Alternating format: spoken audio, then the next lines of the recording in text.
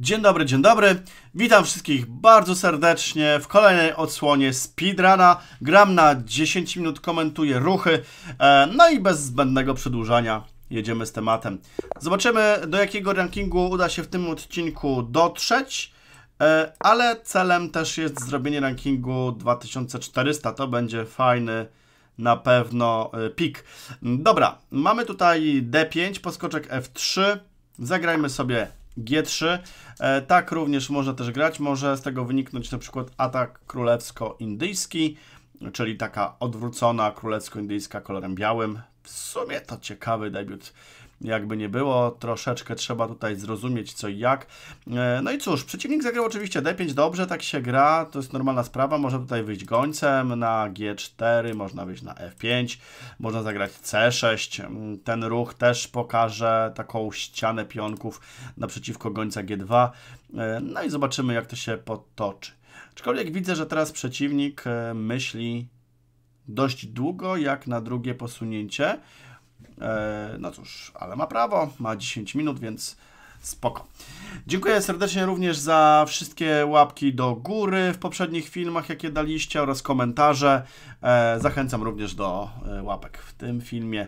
One zawsze motywują, pomagają. No to nic nie kosztuje absolutnie, a, a pomaga twórcom. Więc jeżeli pytacie czasami o formę wsparcia, co też mnie bardzo, jakby to powiedzieć, E, niezręcz, wystawia w niezręcznej sytuacji, aczkolwiek jeżeli chcecie wesprzeć e, kanał, to dajcie łapkę w górę i będzie po sprawie. Także dzięki, dzięki, dzięki. E, już ten kanał ma ponad 2 lata, w sumie niedługo już zaraz 3 lata pyknie. Kawał czasu, a ja tutaj się przypominam o łapkach. Dobrze, moi drodzy, przeciwnik się zamyślił, zagrał C5, goniec na G2. To jest też taki schemat, to jest debiut, ale to jest też takie otwarcie, które można stosować nie znając za bardzo debiutu. I myślę, że ten układ jest całkiem sensowny. Trzeba tylko czasami uważać na jakieś takie ataki e, typu H5, takie dzikie ruchy. E, trzeba tylko na nie dobrze zareagować, a to nie jest trudne. Absolutnie. Taki ruch szybki H5 e, na pewno tutaj nie jest groźny. Zawsze może, można odpowiedzieć ruchem H4, czasem ruchem H3. E, ale pamiętajmy, że jak nas atakują na skrzydle, no to my staramy się też odpowiadać w centrum albo na drugim skrzydle. Taka ogólna zasada, warto się ich trzymać, e, wtedy jest łatwiej e, szachy po prostu zrozumieć. Dobrze, ale widzę, że z tym moim przeciwnikiem jest jakiś problem czasowy, no bo tak długo się zastanawia teraz nad trzecim ruchem, więc to jest jakieś takie troszkę dziwne. Mm, półtorej minuty myślał nad ruchem drugim, teraz znowu myśli. E, kolejną minutę i zaraz będzie pewnie więcej. Nie wiem o co chodzi. Skoczek F6. No dobrze, robimy sobie roszadę. W kolejnym, kolejnym planem będzie zagranie na przykład D3, żeby dojść do ruchu E4. Można to zastosować na przykład po ruchu D3, można zagrać skoczkiem na D2 i wtedy zagrać E4. Ewentualnie hetman E1 też się spotyka taki ruch po D3 i E4. Zaraz zobaczymy jak to jak to wyjdzie, ale gość w ogóle, no dobra, myślał półtorej minuty, teraz myślę pół, myślał półtorej minuty nad drugim ruchem, nad trzecim minutę, a nad czwartym może pół minuty i tak będzie mu spadać. No nie wiem. Eee, dziwnie to wygląda, no bo normalne ruchy wykonywał. Ani nie ma problemów z internetem. Nie wiem o co chodzi, mogę się tylko domyślać, ale głośno nie będę mówił. Zobaczymy, jak to się potoczy.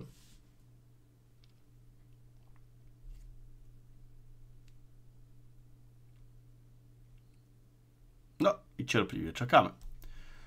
Czekamy cierpliwie na kolejne posunięcie.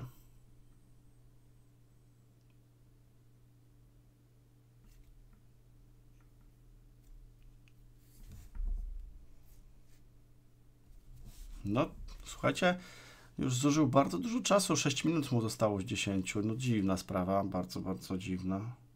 Ale tak to już w internecie bywa czasami. Może coś mu tam przeszkadza podczas rozgrywania gry zdążył zrobić trzy ruchy. Albo, nie wiem, jakieś szachy biegane sobie wymyślił, że robi ruch, biegnie gdzieś tam i wraca, może się już zmęczył. Nie wiem, nie wiem, nie wiem. Dobra, tu już sobie takie bzdurki opowiadam. Mm, no nie wiem, co tam się po drugiej stronie dzieje.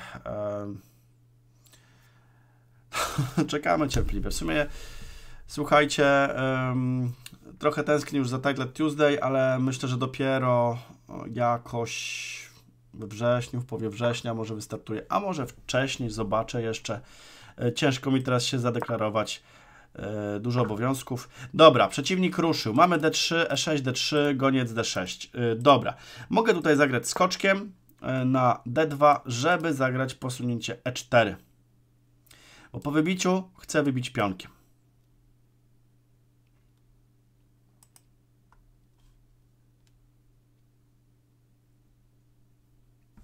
O, chyba za bardzo go pochwaliłem, że ruszył do przodu. Zrobił szybkie dwa ruchy. Nad poprzednim myślał dwie minuty. W czwartym ruchu dwie minuty. No, ponad.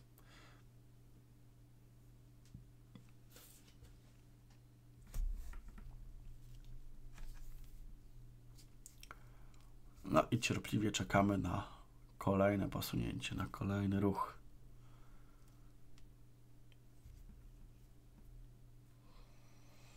Hmm.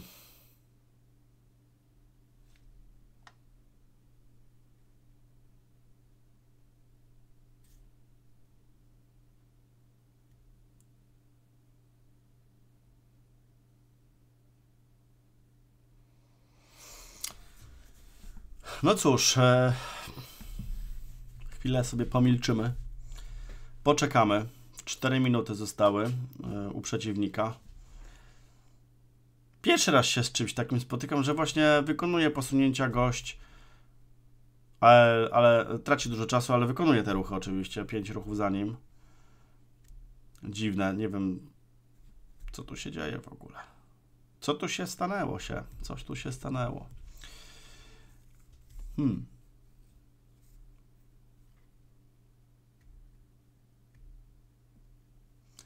Ale tak, może korzystając e, z okazji, e, też zapytam Was, jak wakacje Wam mijają pod kątem szachowym.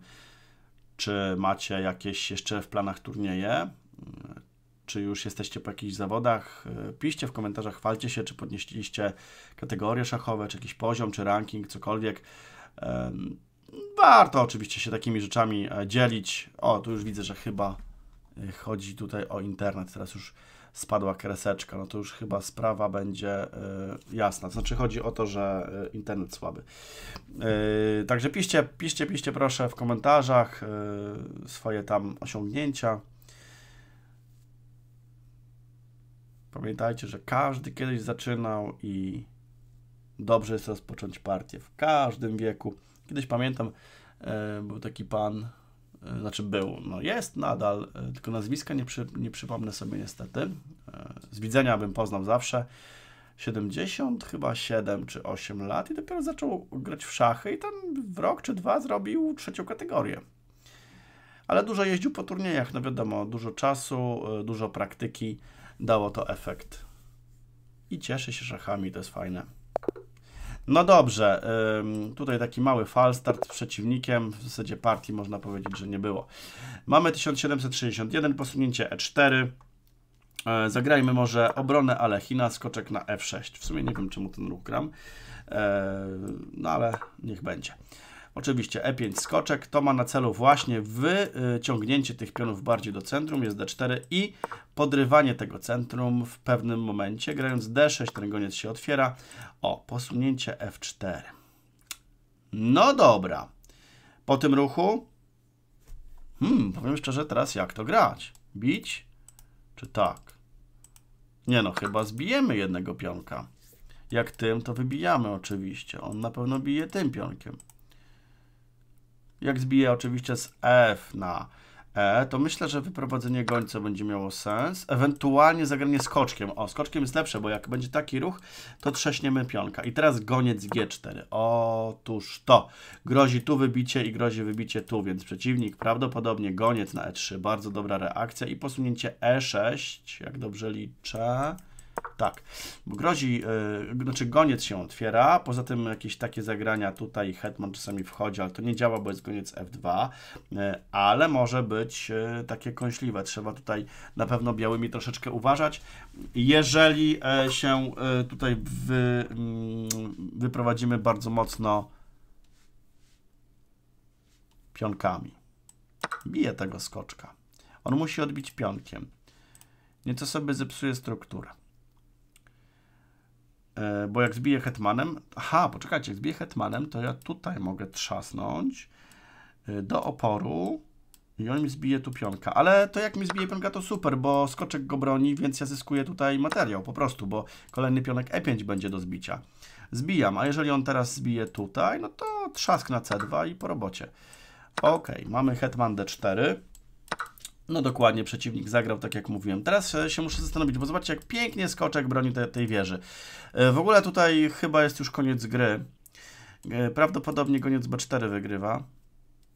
No tak, wyprowadzenie gońca w ogóle ma ogromny sens, dlatego że zawsze mogę zrobić później roszadę, jak bardzo chcę grać bezpiecznie. Król ma małe szanse teraz. Jak pójdzie tu, to mogę tu z szachem, ale mogę też tu z szachem i wziąć wieżę. Jeżeli skoczek zagra, no to bije, bije, bije i biorę wieżę. No tak, no to jest najprostsza droga. Bije chyba na B2, znaczy nie chyba, ale na pewno. E, I też mogłem na C4 zbić. No, dużo e, dobrych opcji e, tutaj było. Mogłem przeciwnika szachować cały czas, ale nie czułem takiej potrzeby, żeby mocno go tu atakować. Bije po prostu wieżę. Jeżeli tak, to tak. A, tu jest jeszcze oczywiście szach.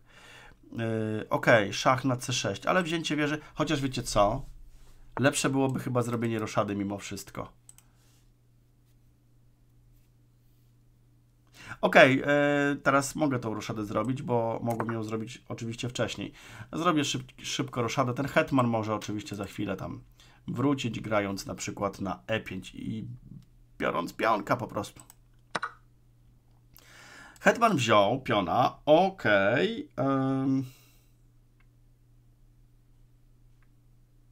Ten pionek wisi, bo chciałem już tutaj grać. Ale nie, zagram tą wieżą. Chodzi o to, żeby hetman mi nie bronił już tego pionka.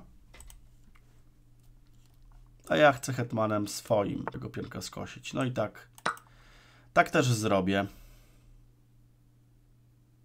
Zobaczcie, ten skoczek z B1 w ogóle nie może nigdzie ruszyć, bo goniec fajnie pilnuje tych pól. To się bardzo dobrze trzyma. To, to jest wieża więcej, o czym tu rozmawiać. To przecież kompletnie wygrana pozycja. To, że jest wygrana, to nie znaczy, że już wygraliśmy. O tym trzeba zawsze, zawsze pamiętać. Hmm.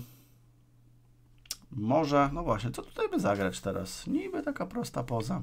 Zagram tu, to mi weźmie. Może tak po prostu. Zagrajmy na wolną linię, atakując gońca. Tak zwyczajnie, tak normalnie. Tu czasami trzeba uważać na uderzenie na F7, jeżeli król gdzieś tam odejdzie. Póki co ten król nie ma za dobrych odejść.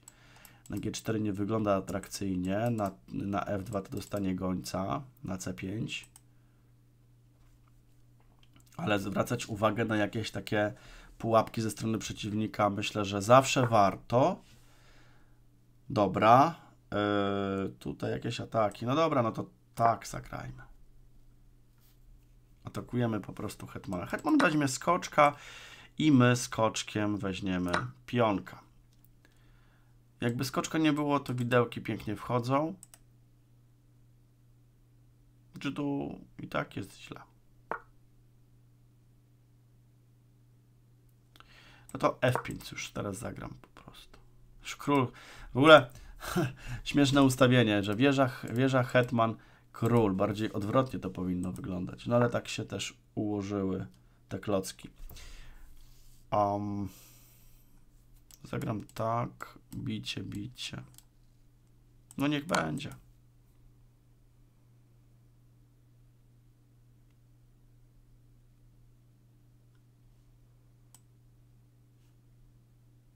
I wieża odbije. Teraz oddeklarowane posunięcie możemy zrobić. Ale fajnie, już się pojawiają takie rankingi ciekawe. To już wspominałem w poprzednim odcinku. ale już tu się gra zaczyna robić też fajna. Chociaż też błędy, jak widać, się zdarzają. Takie taktyczne błędy to jest najczęstsze właśnie w szachach, że taktyczne błędy powodują koniec partii. Dobra, teraz yy, mogę oczywiście zbić końca, szukam mata. Tak, mogę zagrać, tak też mogę. No dobra, hetman e2. Mata nie ma jeszcze. Aha, tu wieża jest podbiciem, ale teraz goniec d6, atakujemy sobie, wiecie co, tutaj też mogłem kopnąć. Atakujemy króla, bronimy wieży przy okazji, mogę wziąć tu, mogę wziąć tu, mogę zagrać tu. O, oczywiście prosta rzecz.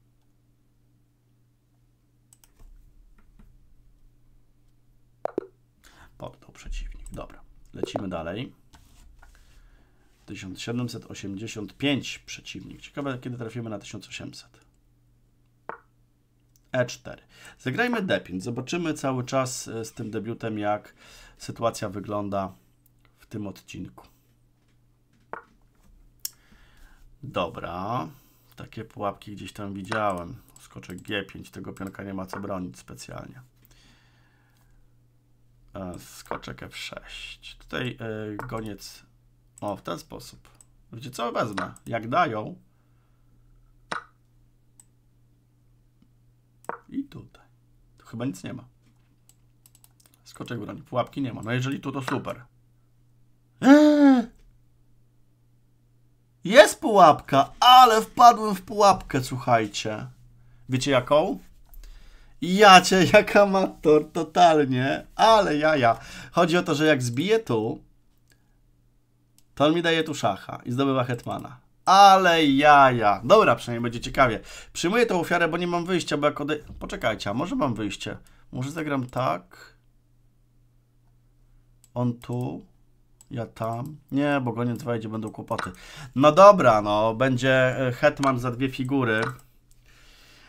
Ale wpadłem w pułapkę. Masakra. Ale dobrze, dobrze. Yy, dobrze, skoczek C6 yy, od razu, żeby goniec był broniony. No, dwie figury za hetmana mamy. Yy, będzie jazda, słuchajcie. Jeszcze mi sprząta tutaj wszystko. I jeszcze mi sprząta. Hmm. To się porobiło. To się porobiło. Zagram po prostu E5. Pionek do centrum, niech idzie. Tego hetmana stąd wygonić będzie ciężko, może takim manewrem.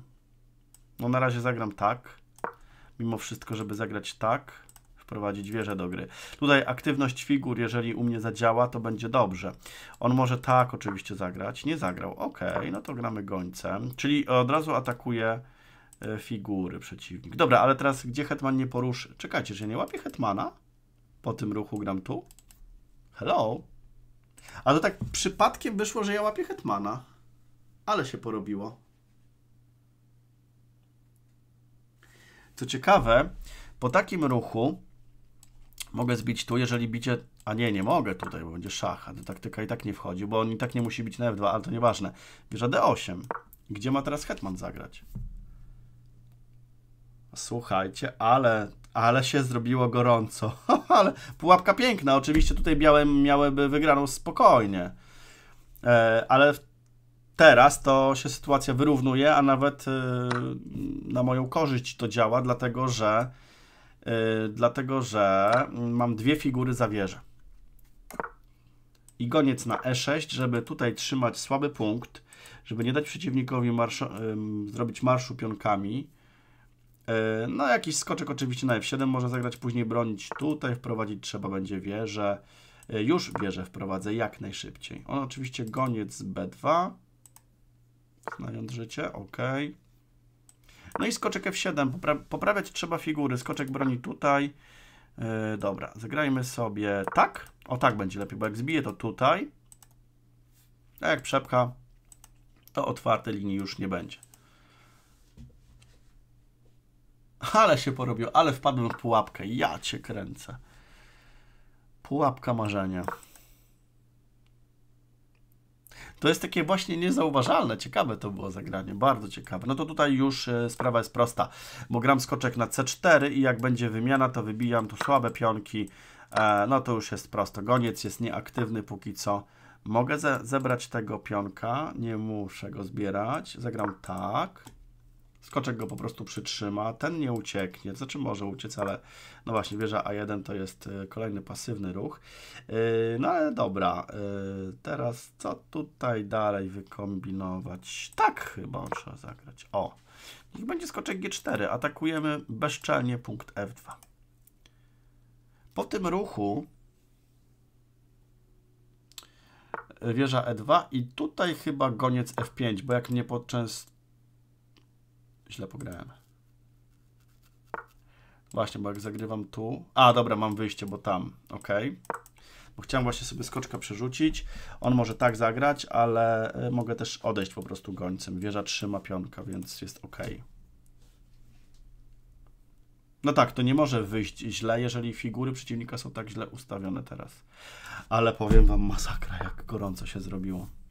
No teraz jest taki ruch, no dobrze, no to mam możliwość zagrania ruchu H5. Zobaczcie, że nie muszę się w takiej sytuacji śpieszyć nigdzie, tylko przeszkadzać przeciwnikowi właśnie w, w realizacji jego celów. Już widzę o co chodzi. Tutaj i tutaj mogę tak zagrać. On wtedy zagra tu. Ja tu zdobywam materiał. Oddam mu tego skoczka. Taka podpucha mała. I koniec C7. Wieża E1 i król na F6. Co ciekawe, nie można C4, goniec nie obroni wieży. Bo jakbym zagrał wieżą potem na C5, to byłoby C4 i goniec tutaj by bronił.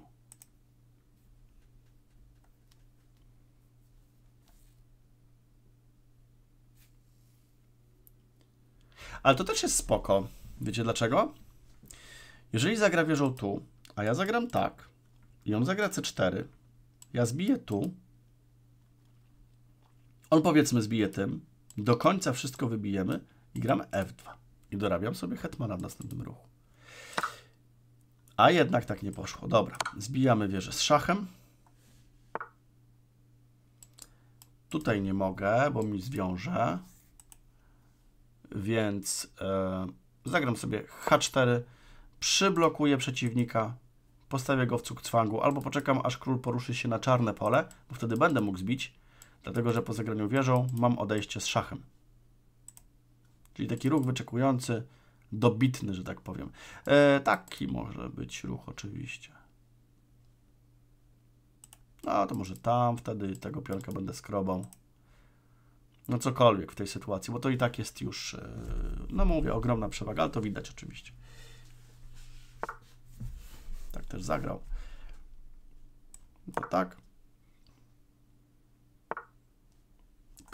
Tego pionka chce mi wziąć. E, no to proszę bardzo, bijemy tu i tu grozimy wieża A2.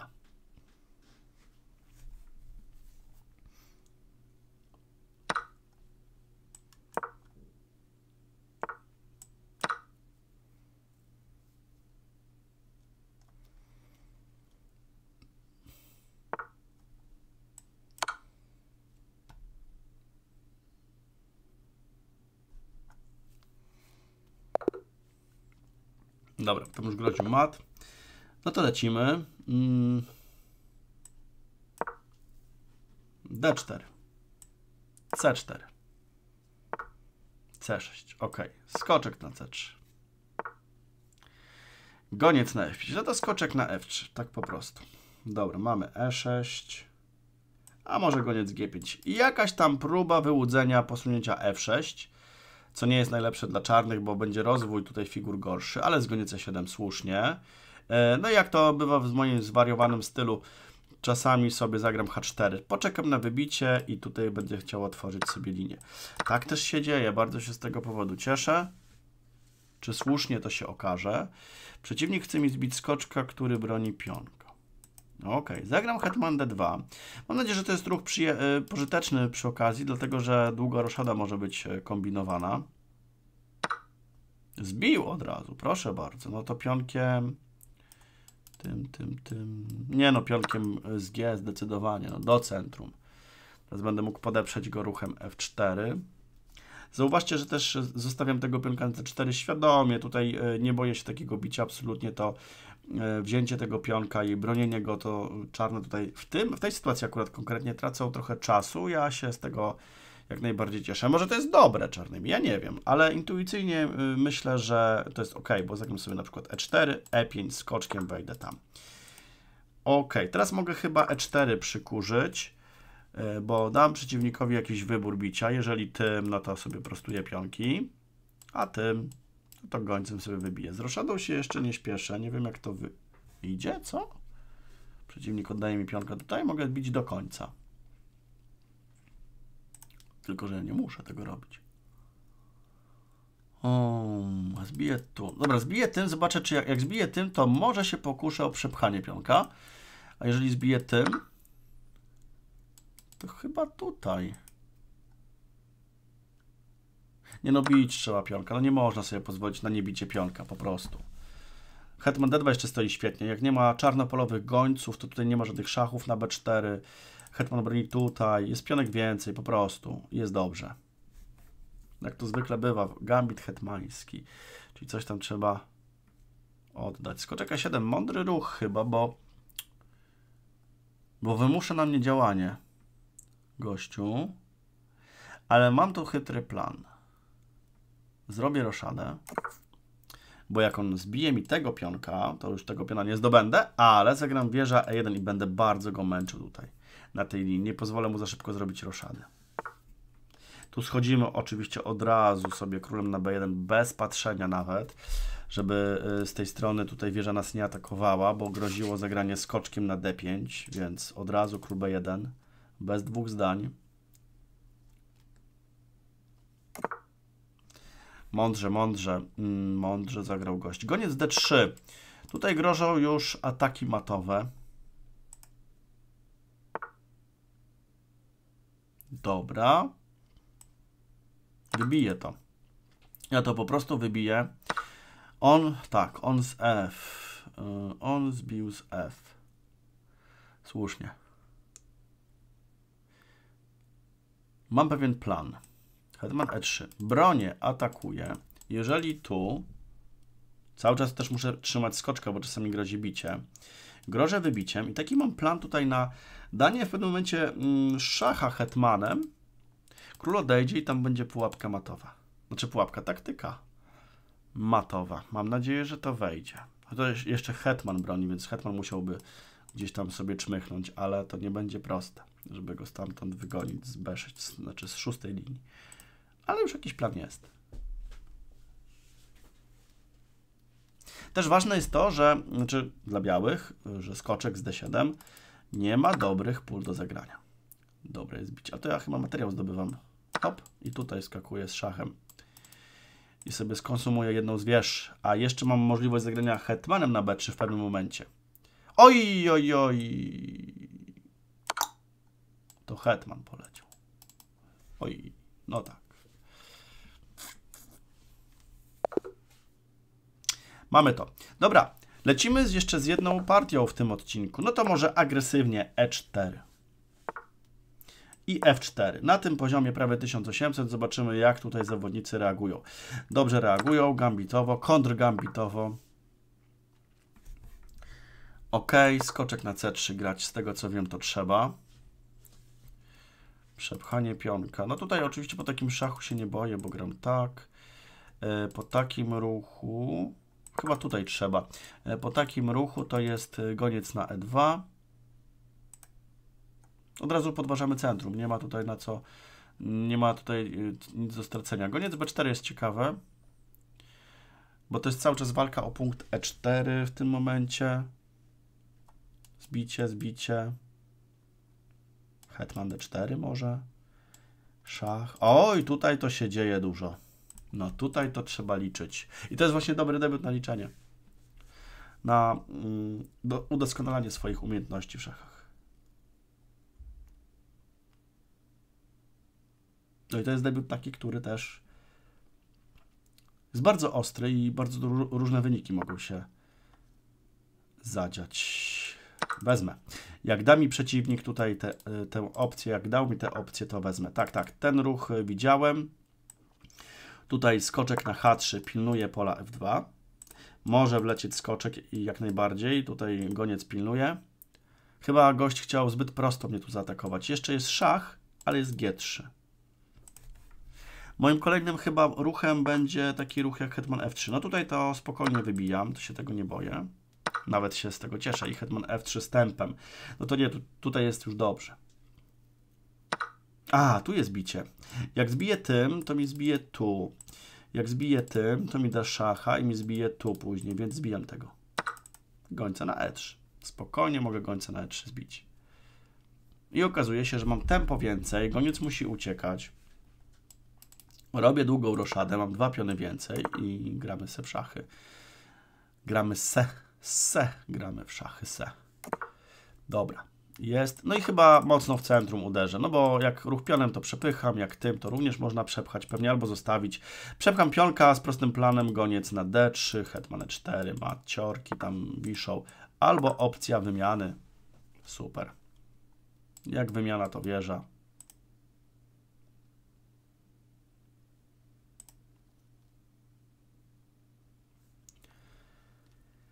No i widać, że nie ma się czasami też co bać, jeżeli ktoś nam zagra kontrgambitowo. Trzeba spokojnie policzyć, a jeżeli jest ciężko spokojnie policzyć, no to wiadomo, że należy się czegoś tam e, poduczyć. Ale to partie właśnie kształcą. Nauczymy się, znaczy zagramy, przegramy, nauczymy się, wyciągniemy wnioski i będzie świetnie. No tutaj A5 to A3, odpędzam, odpędzam tego, tego skoczka. Taki ruch jeszcze mnie kusi, a jak mnie kusi, to niech tak będzie. Silne centrum, po prostu silne centrum. W ogóle centrum w szachach jest niezwykle istotną kwestią. Jak potrafimy zbudować centrum i uzyskać to centrum, nie zawsze się da, nie zawsze się da oczywiście, tutaj e, trzeba to zaznaczyć, ale jeśli to nam uda zrobić, to gramy dobrze w szachy po prostu. I będziemy też dobrze pewnie manewrować, rozumieć czasami te szachy. Znaczy mówię to tak bardzo ogólnikowo, to nie jest też takie łatwe. Wszystko wymaga na pewno jakiegoś tam treningu, zrozumienia, ale dobra, to już tam wchodzę w sfery, że można by było tu dyskutować. E, no tak, przeciwnik się przestraszył tutaj takiego hetman na, hetmana na H6, ale e, też nie zauważył, że skoczek jest atakowany, więc go od razu konsumuje. No i tutaj myślę, że po prostu wrócę. F6 może. Ok, e, 1783. No to ranking się robi bardzo ciekawy. Dzięki serdeczne za dzisiaj i widzimy się w kolejnym odcinku. Pozdrawiam, cześć.